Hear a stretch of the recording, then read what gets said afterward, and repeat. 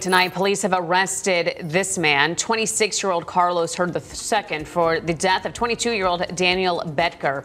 Early Saturday morning, officers were called to a shooting at a McDonald's in Mesa near Country Club and Southern. When they got to the scene, they found Betker, who had been shot multiple times in the drive through lane. He was taken to the hospital. Unfortunately, he passed away.